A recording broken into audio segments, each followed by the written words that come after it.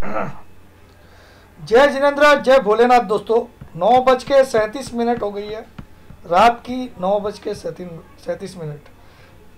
Night nine thirty seven P M and today it's twenty seventh April two thousand twenty one and it's Tuesday मंगलवार का दिन आज। और आज का टॉपिक बहुत ही मज़ेदार है। देख के थोड़ी सी हँसी भी आ सकती है। तो थोड़ा सा हँसी पे कंट्रोल रखिएगा। निफ्टी अब की बार चौदह हज़ार। निफ्टी चौदह हज़ार। अब की बार चौदह हज़ार। क्या पागल हो गया। तो चलिए इसके बारे में चर्चा करेंगे, लेकिन सबसे पहले हम डिस्क्लेमर सेक्शन देख लेंगे। उसके बाद हम इसके बारे में डिटेल में बात करेंगे। तो हमारा डिस्क्लेमर भाई कहाँ गया भाई? ये रहा तो इसको पहले आप लोग देख लीजिए, इसको पढ़ना अनिवार्य है मैंडेटरी है मेरे हर वीडियो के डिस्क्रिप्शन बॉक्स में। बिलो द टाइटल बॉक्स रहता है। अब मैं जो शीर्षक लाया हूँ, अब निफ्टी अब की बार चौदह हज़ार। ऐसा क्यों बोल रहा हूँ? तो मैं थोड़ा सा आपको चार्ट पे ध्यान दिलाऊँगा और अपना लॉजिक डालना चाहूँगा कि निफ्टी क्यों चौदह हज़ार आएगा, वो भी पाँच मई तक मेरा टारगेट है, जो कि आप लोगों ने पहले का वीडियो देख लिया होगा आज का, पाँच मई तक। जबकि निफ्टी दो तीन दिन से अच्छा बढ़ रहा है और आज की क्लोजिंग निफ्टी की चौदह छः सौ तिरपन। Fourteen six five fifty three पे आज क्लोज हुआ है, बहुत बड़ी क्लोजिंग है और इन, इसके अलावा बैंक निफ्टी की भी बहुत बड़ी क्लोजिंग है, बत्तीस सात सौ पैंतीस। ऐसा लग रहा कि सारी मंदी वंदी हट गई और अब सिर्फ़ तेज़ी करनी चाहिए। ऐसा सिग्नल इसने दिया है। लेकिन ये रियल रैली है या फेक, वही हम चर्चा करेंगे। और ये पंद्रह हज़ार जाने वाला है या चौदह हज़ार आने वाला है, ये भी हम डिटेल में बात करेंगे। चलिए। तो सबसे पहले मैं चार्ट पे जाता हूँ। निफ्टी का daily chart. This is Nifty is daily chart जो कि मैंने आपके सामने एक साल के डाटा इसमें लिया मैंने। तो एक ट्रेन लाइन ड्रॉ करता हूँ तो वो भी चौदह हज़ार की तरफ़ ही जा रही है। और ऊपर इसका चौदह आठ सौ एक बड़ा रेजिस्टेंस है, जो कि मुझे नहीं लगता है टूटेगा, ठीक है? अभी। तो चौदह आठ सौ मेरे लिए, अगर मैंने किसी को सात सौ साठ वगैरह दिया है तो चौदह आठ सौ के ऊपर अगर निफ्टी स्पॉट निकल जाए और क्लोज कर दे तो मेरा पूरा व्यू फेल हो जाएगा। और कल की क्लोजिंग तो इसको 617 के नीचे देनी चाहिए। आज 653 का दिया कोई डाउट नहीं। अब मैं ऐसा क्यों बोल रहा हूँ कि ये चौदह हज़ार आएगा? तो आज भी, आज मंगलवार और कल बुधवार है याद आपको। टुमारो वेनेसडे लेकिन पिछले वेनेसडे हमारी छुट्टी थी। और उस दिन विदेशी मार्केट में सिंगापुर मार्केट में SGX ने आपको चौदह हज़ार हज़ार सोलह का लो मार के दिखाया। फोर्टीन थाउज़ेंड सिक्सटीन का लो बनाया। एक्स निफ्टी ने बुधवार के दिन, पिछले बुधवार को, जब हमारी छुट्टी थी 21 तारीख थी, मुझे जहाँ तक याद है, हमारी छुट्टी थी उस दिन रामनवमी की, ठीक है? तो उस दिन का ट्रेड हमारे यहाँ तो इफ़ेक्ट हुआ ही नहीं। जो चौदह हज़ार सोलह आया था वो हमको तो देखने में नहीं मिला, हमको तो चौदह एक भी देखने नहीं मिला क्योंकि हमने अगले दिन खोला मार्केट ठीक है? तो वो स्क्रीन पे लाएगा निफ्टी और मेरा मानना है टिल पाँच तारीख के पहले पहले या ऑन और बिफोर फिफ्थ में it will come fourteen thousand जबकि अगर मैं देखूँ तो पिछले दो तीन दिन से निफ्टी बहुत अच्छी दौड़ मार आप देखो।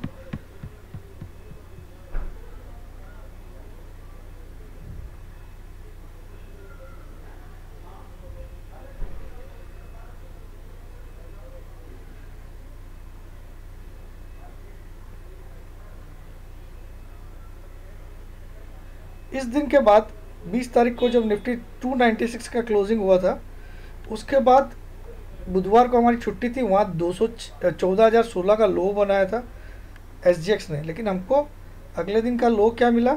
चौदह एक सौ इक्यावन। यानी कि एस का जो लो था, हमको देखने के लिए नसीब भी नहीं हुआ। लेकिन हमने एक सौ इक्यावन का लो मार के उसी दिन चार सौ छः का हाई मार दिया। जो कि ये ये अकेला शख्स मैं था जिस दिन, उस दिन बोलने वाला कि पॉजिटिव क्लोजिंग होगी, ये सबको याद है। बहुत एडवांस में मैंने बोला था उसे। और आप देखो, एक सौ इक्यावन से एक, दो, तीन, चार। आज चौथा ट्रेडिंग डे था, एक सौ इक्यावन का लो था। वहाँ से हम सिक्स सिक्सटी सेवन तक पहुँच गए और आठ सौ तक भी पहुँच जाए। सेवन कितना आ रही है एग्जैक्टली देखता हूँ। सेवन सिक्सटी फाइव तक भी पहुँच जाए तो कोई बड़ी बात नहीं है। Seven sixty five, seven seventy से ऊपर इसके जाना मुझे लगभग इम्पॉसिबल लगता है। लगभग इम्पॉसिबल और वहाँ से इसको यहाँ आना ही पड़ेगा, इसको टेस्ट करना। चौदह हज़ार को। ऐसा मेरा मानना है। अब क्यों आएगा? सबसे पहले ये पाँच मूविंग एवरेज मैंने एक्सपोनेंशियल मूविंग एवरेज लगा रखी है। एक्सपोनेंशियल मतलब ई e ठीक है? और एसएमए होती है सिंपल मूविंग एवरेज तो मैंने एक्सपोनेंशियल लिए डिफरेंस बिटवीन सिंपल और एक्सपोनेंशियल क्या होता है?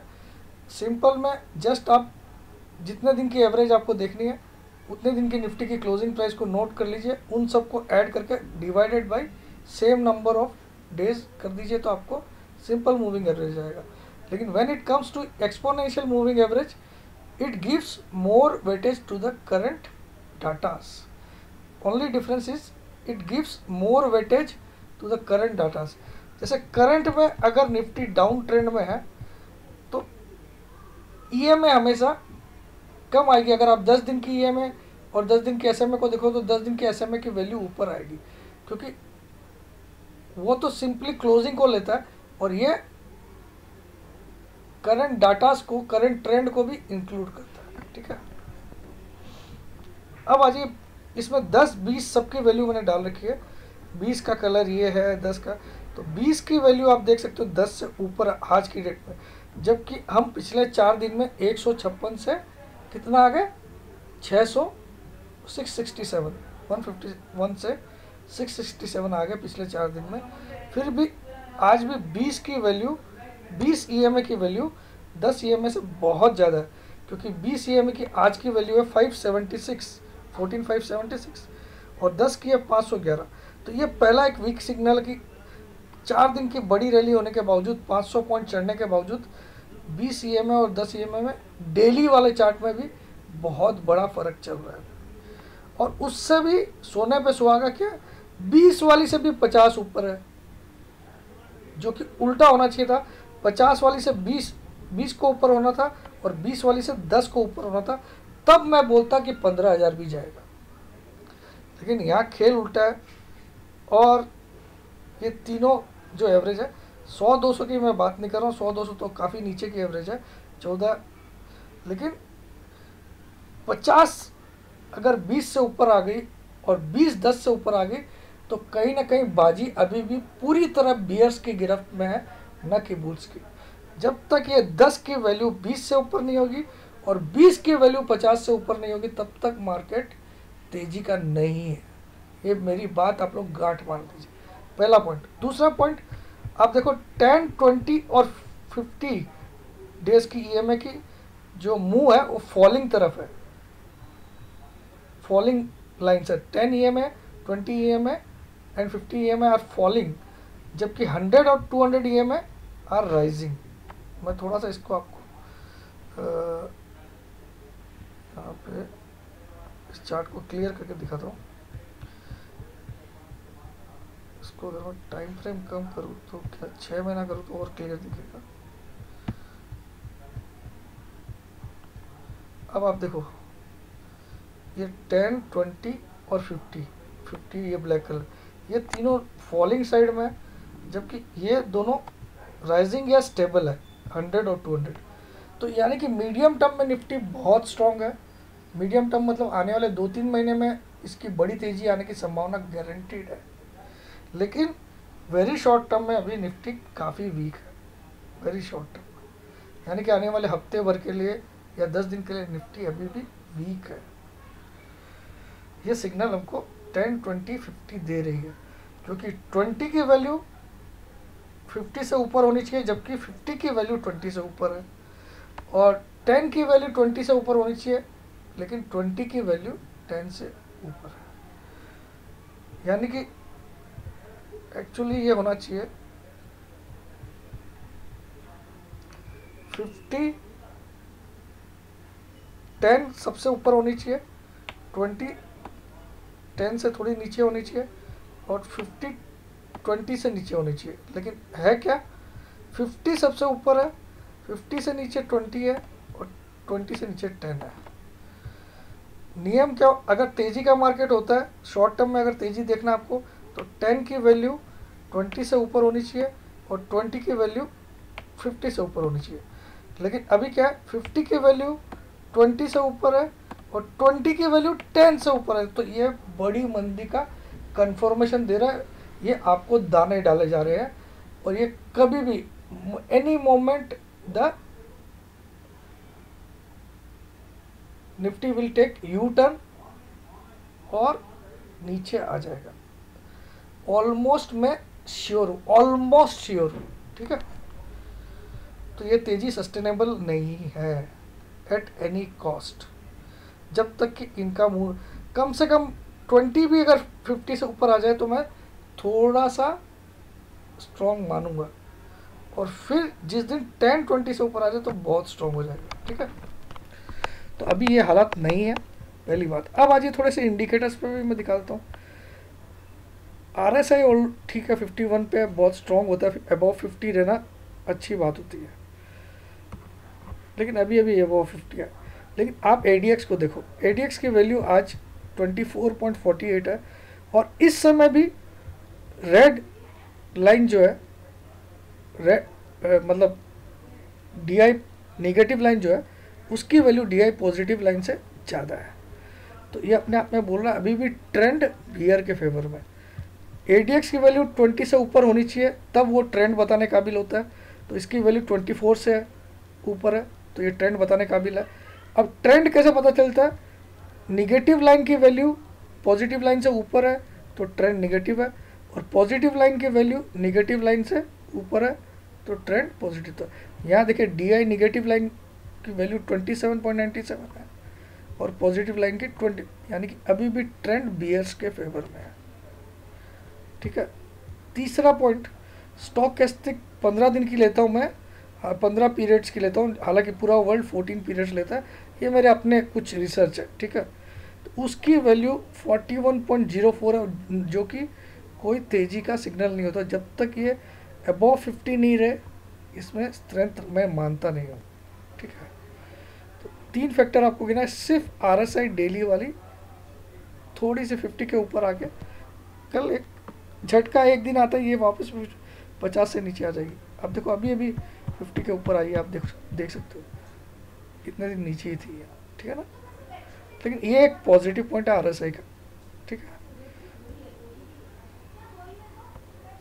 तो ये सारे फैक्टर्स मुझे बोलते हैं आई एम डैम कन्फर्म कि पाँच तारीख तक ही चौदह हज़ार आ जाएगा।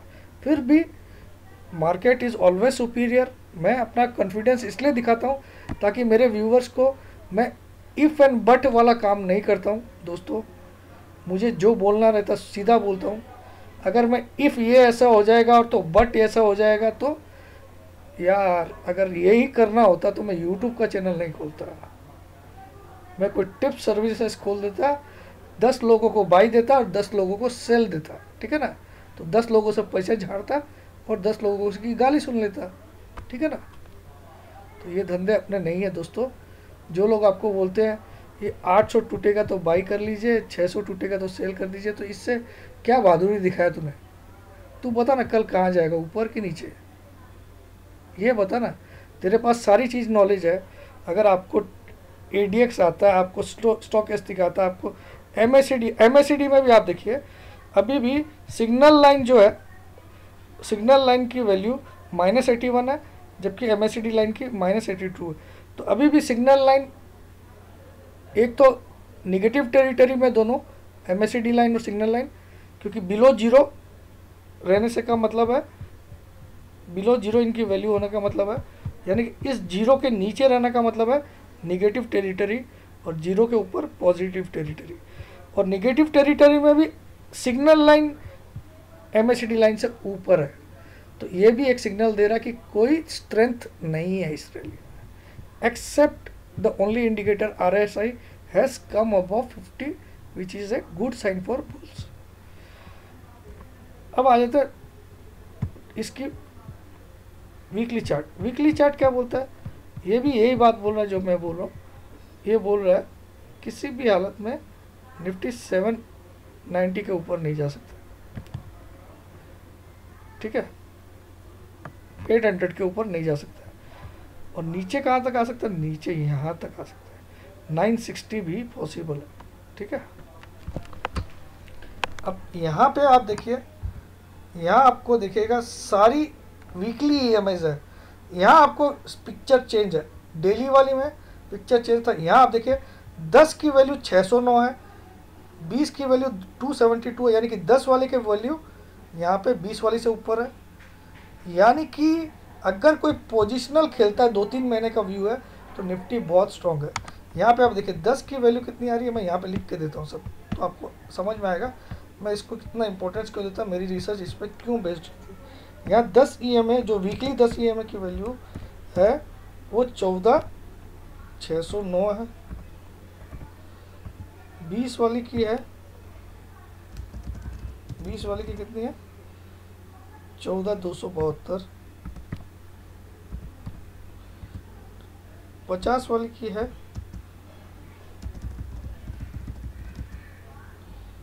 तेरह, एक सौ इकसठ।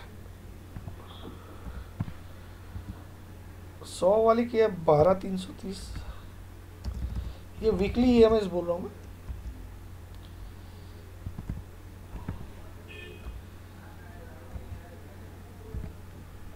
दो सौ वाली की ग्यारह, सात सौ बयालीस।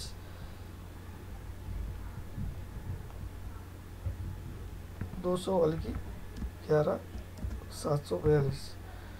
यानी कि किसी भी, यहाँ पे देखिए, हर छोटी ई एम बड़ी ई से वैल्यू ऊपर है। सबसे बड़ी ई एम कौन सी? 200 इससे छोटी कौन सी है? 100 ई एम के। तो 100 की वैल्यू 200 से ऊपर है कि नहीं? है। अब सौ से छोटी कौन सी है? 50 50 की वैल्यू देखिए 100 से ऊपर है स्ट्रेंथ है। अब 50 से छोटी कौन सी है? 20 20 की वैल्यू 50 से ऊपर है।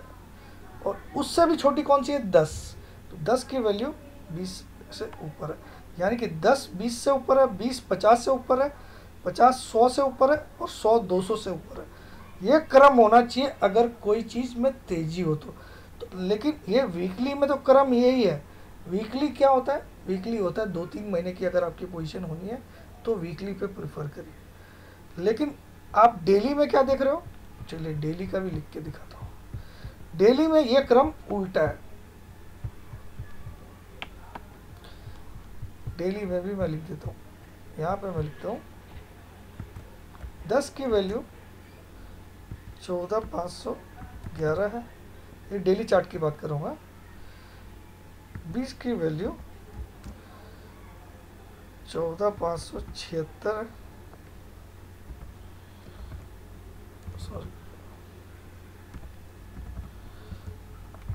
पचास की वैल्यू चौदह पाँच सौ बानवे है।